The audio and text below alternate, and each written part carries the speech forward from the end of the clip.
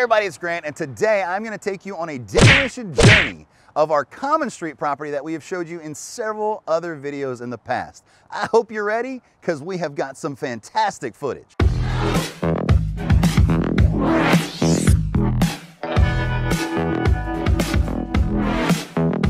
So in today's video, not only are we gonna talk about the demolition process and the demolition cost, we are actually going to demolish a house, an old pool, and a lot of trees to show you exactly how this process goes. As you can see behind me, we have been very busy and we are gonna turn this property into the crown jewel of all of our rentals and we are gonna share it all with you. The plan for this property is eventually gonna have 40 units on it and we could not be more excited to get this process started.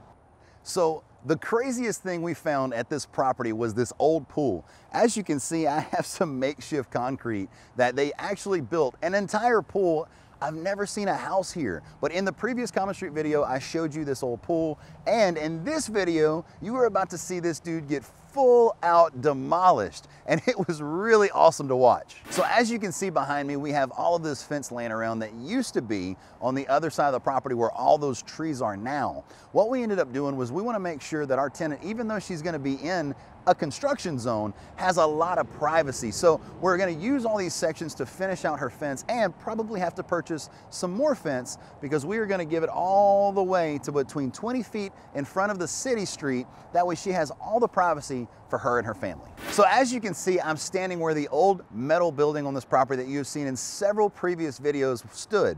When it comes down to it, I'm standing on half of the slab because the other half of the slab has just been ripped out and you can see it behind us after they did demolish the building, even though we gave them a fantastic deal, they left us a huge mess. We actually have two city hearings that we have to go to very shortly in June, as long as all this other mess that we do not talk about here on YouTube is cleared up. When it comes down to it though, they did save us thousands of dollars on the demolition and we couldn't be more excited about sharing it all with you. So here we are inside of our uh, demolition house that you're gonna see very shortly. We're actually in here moments before this is actually going to be demolished. So hopefully he doesn't start too soon. But when it comes down to it, I just wanted to show you what it looks like in here. The house itself uh, was an old business.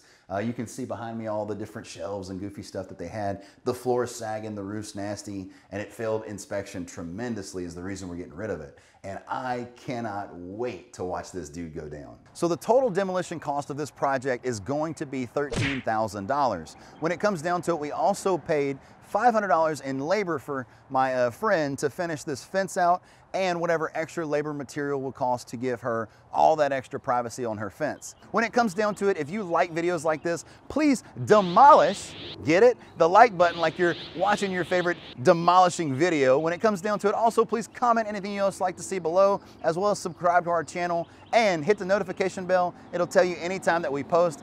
I hope you guys have a fantastic afternoon and I'll see you on the next one.